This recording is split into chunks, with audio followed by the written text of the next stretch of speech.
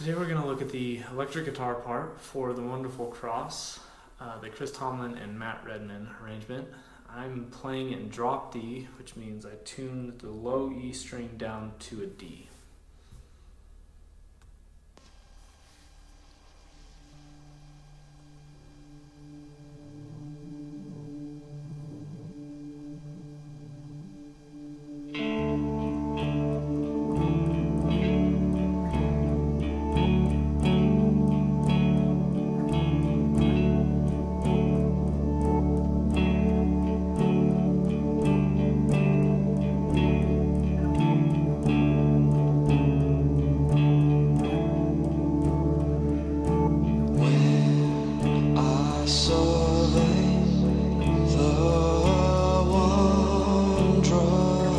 cross